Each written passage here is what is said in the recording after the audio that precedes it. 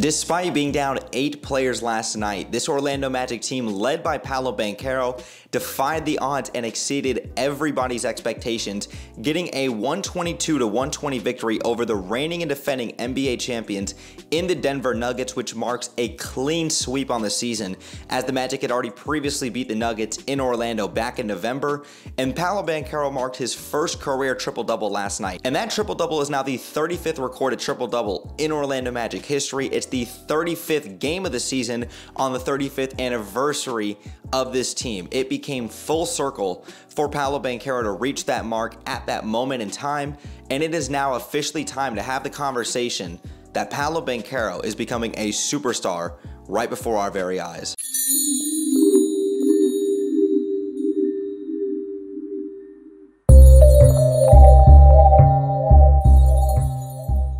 Now, don't just take my word for it. Paolo Banchero has been gaining a lot of respect and notoriety from across the league. While the Orlando Magic may not get the respect and not get the national media attention that a Chet Holmgren, like a Victor Wembanyama, and a handful of other young players get, Paolo Banchero is still flying under the radar and still dominating the game of basketball in his own right.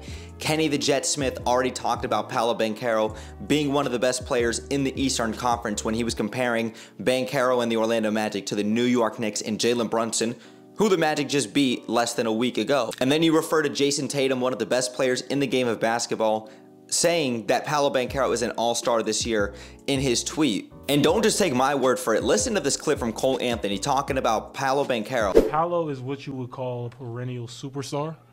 And I knew that. I think he's just waking everyone else up now. I think that's what it is, and just it's just it, I'm I'm in such a dope position to be able to just see him develop and just see him showcase to the world how talented he is and how he can affect the game in so many different ways.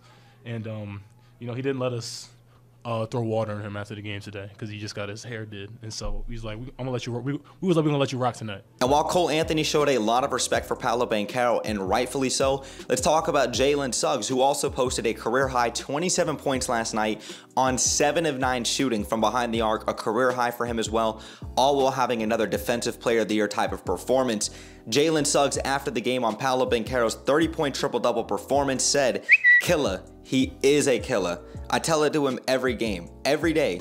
Go to work, do you. The growth he's made year one to year two He's an all-star. I don't think that there's if, and, or buts about it. And staying on the same course when we talk about post-game quotes, let's talk about Paolo Banchero and the leadership qualities in which he has possessed, not only throughout this season, but specifically last night after that huge performance. Paolo Banchero on Jalen Suggs' career high night of 27 points and seven three-pointers made. Banchero said, I tell him all the time, like, bruh, you Jalen Suggs, don't ever forget that. You're the man. Let that joint fly. He's been working on it all summer relentlessly. He has a great shot. That's the type of leader and that's the type of character you want to see out of a franchise player. And that's not to take anything away from any of the other great young players in the game of basketball, but Banchero has showed those leadership qualities since coming into the league. He has dominated and continuously gotten better since coming into the league, and you see the continuous growth in his game. And now talking a little bit about the performances, before we get into the Denver performance, despite Orlando going just one of four on their four-game Western Conference road trip where they played at Phoenix, at Golden State, at Sacramento, and then they finished it up at Denver with a win.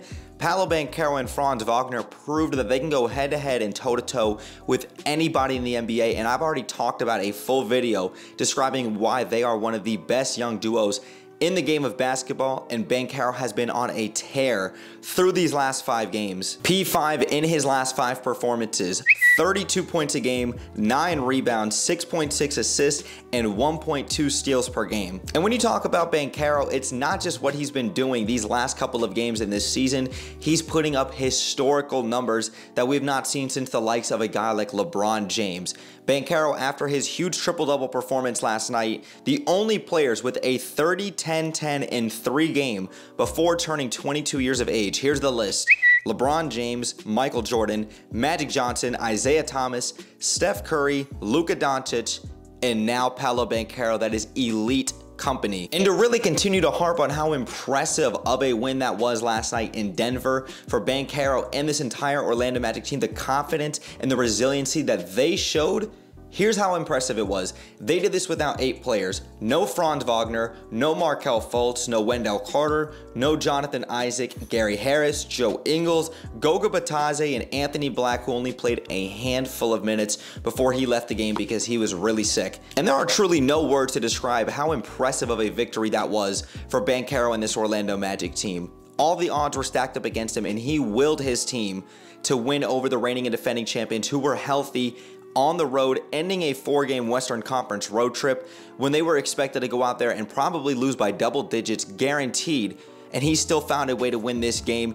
Hit four clutch free throws down the stretch. Jalen Suggs played incredible defense on Jamal Murray and Nikola Jokic in the post. Put on a defensive player of the year type of performance. Jalen Suggs has now hit 13 threes in his last two games, shooting 61% from behind the arc and a career high seven threes versus the Denver Nuggets. The confidence, the maturity, and the belief that this team has, it is shown from the coaching staff to the work that they've put in during the summer and the work that they continuously go and they put in. And Banchero, just to harp on it yet again, is the clear-cut face of this franchise. He is the closest thing in my eyes to a LeBron James since the likes of LeBron James and we better not take Paolo Banchero for granted. It is time to give him his respect, give him his flowers, and to talk about him as one of the young, up and coming, perennial superstars in the game of basketball. While the Orlando Magic still have a lot to prove and they have exceeded everybody's expectations this season, I am sure that Banchero and this entire Orlando Magic team wants to continue to go out there and to prove everybody wrong on a night in and night out basis. Banchero is one of the best young players in the game of basketball, and like I said, I do believe it's time to give him his flowers. Magic fans, NBA fans, please let me know your guys' thoughts in the comments down below about this stretch Banchero's been playing at lately and him recording his first career triple-double last night in a big-time win over the Denver Nuggets. If you guys enjoyed today's video, please go ahead and drop me a thumbs up. Hit that subscribe bell to stay tuned for more Orlando Magic content that we do here on YouTube. And make sure you guys also go ahead and follow me, Brett James, and Orlando Magic HQ on all of our socials. We're both very active and we're on there every single day. The link tree will be in the description down below so that you guys can go ahead and check that out. But Magic fans, NBA fans, thank you guys again for sticking around throughout the whole video. Brett James, aka BJ, I'm out, y'all. And like always, let's go Magic.